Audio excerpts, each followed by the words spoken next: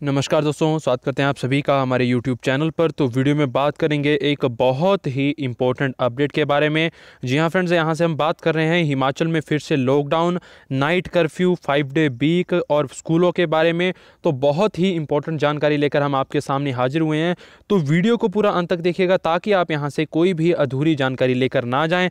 और आज का आप सभी से एक बड़ा प्रश्न ये रहेगा कि क्या अब हिमाचल में फिर से एक ऐसी स्थिति आ गई है कि हिमाचल को पूरी तरह से लॉकडाउन किया जाना चाहिए। तो अगर आपको लगता है कि हिमाचल को फिर से लॉकडाउन किया जाना चाहिए तो कमेंट में जो है यस लिखें और अगर आप इस बात से सहमत नहीं है तो कमेंट में नो लिखें। तो देखिए, यहाँ से ये जो लॉकडाउन और नाइट कर्फ्यू की बात आई है, ये क्यों आई है? तो अगर ये आप बताएँ आपको आपको पता है कि हिमाचल में जो है लगातार केसेज जो है, पिछले दिन जो है लगभग हज़ार के करीब जो है केस यहाँ से आए हैं। तो इसी बीच जो है सरकार को अब ये फैसले लेने पड़े हैं, जो कि जनता के हित के लिए काफ़ी ज़रूरी हैं। तो सबसे पहले बात करेंगे नाइट कर्फ्यू हिमाचल हिमाचल में लग सकता है night curfew, five day week का भी प्रस्ताव। तो देखिए, सबसे पहले लॉकडाउन की हम बात कर रहे हैं तो आप सभी पूछेंगे कि सर लॉकडाउन आप क्यों कह रहे हैं कि लॉकडाउन लगेगा? तो कुछ दिन पहले जो है, ये खबर काफ़ी चर्चा में रही थी कि हिमाचल में जो है लॉकडाउन फिर से लगेगा। लेकिन अब आपको बता दें कि मुख्यमंत्री ने ये चीज़ स्पष्ट करी है कि हिमाचल में जो है लॉकडाउन नहीं लगेगा, बल्कि जो यहाँ से नियम है, उनको अब सख्त किया जाएगा।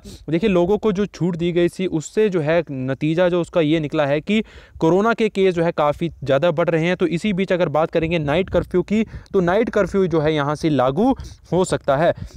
तो देखिए, पूरी अगर आप न्यूज़ देखेंगे तो कोरोना के बढ़ रहे जो मामले हैं, उसी के बीच सरकार को अब कुछ बड़े फैसले ले सकती है, क्योंकि लगातार स्थिति जो है बिगड़ रही है। आपको पहले ही बताया तो अब जो है कैबिनेट मीटिंग जो है, वो संभावित है, उसमें बताया जा रहा है कि पहले तो है जो सरकार यहाँ से कोरोना के बीच जो है फाइव डे वीक करने का यहाँ से प्रस्ताव रखेगी और इसको मंजूरी भी मिल जाएगी, क्योंकि इससे क्या होगा कि शनिवार और रविवार को जो है सब कुछ बंद रहेगा, लोग जो है वो खुद ही घर से नहीं निकलेंगे, जिससे कि थोड़ा सा नियंत्रण हो सकता है।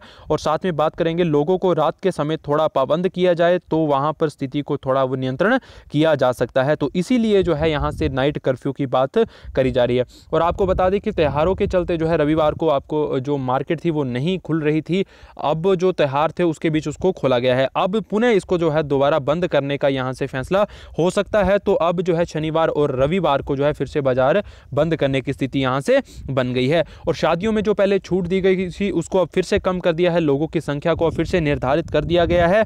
और साथ में आगे बात करेंगे, एक और यहाँ से बड़ा प्रमुख मुद्दा है, जिसमें कि स्कूलों की बात करेंगे तो 25 नवंबर तक जो है स्कूल बंद रखे गए हैं। तो इसके बीच जो है आगे सरकार को ये भी फैसला लेना है कि स्कूलों को और आगे कब तक बंद रखा जाएगा? क्योंकि संभावित है कि आगे भी स्कूल बंद ही रहेंगे, क्योंकि काफ़ी ज़्यादा शिक्षक और विद्यार्थी जो है वो कोरोना पॉजिटिव आ रहे हैं, जिसके कारण जो है सरकार को ये चीज़ आगे बंद रखनी होगी।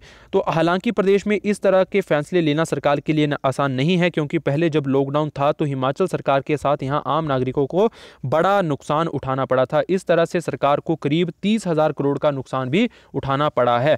तो इसी के चलते जो हज़ारों लोगों की नौकरी भी चली गई है। अब सरकार को यहाँ लॉकडाउन पर क्या फैसला लेना है, ये तो सरकार के हाथ में है, लेकिन नाइट कर्फ्यू यहाँ से ज़रूर से ज़रूर मेरे ख्याल लगता है कि वो लागू होगा। और साथ में स्कूलों के फैसले फाइव डे वीक ये जो सभी फैसले हैं, वो काफ़ी इंपॉर्टेंट है जनता के हित के लिए। क्योंकि अगर कोरोना कोई चेन को तोड़ना है तो ये सभी जो कदम है, वो काफ़ी ज़रूरी हैं। तो आपको बता दें कि चेन तोड़ना बेहद ज़रूरी है। जी हाँ फ्रेंड्स लॉकडाउन के चलते प्रदेश को बड़ा नुकसान हुआ है, सबसे ज़्यादा पर्यटन को नुकसान हुआ है। जहाँ हज़ारों लोग सड़कों पर आ गए हैं, इनको अब रोज़गार दे, जो है वो नहीं मिल पा रहा है।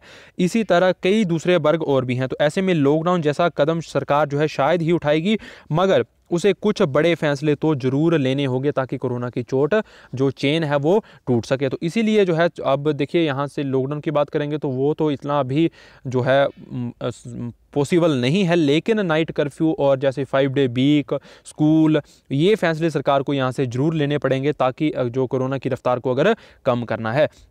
तो आई होप आप सभी को जो है जानकारी अच्छी लगी होगी, वीडियो को करें जैसे शेयर वीडियो को तभी शेयर करें अगर आपको पूरी जानकारी आपने देखी है।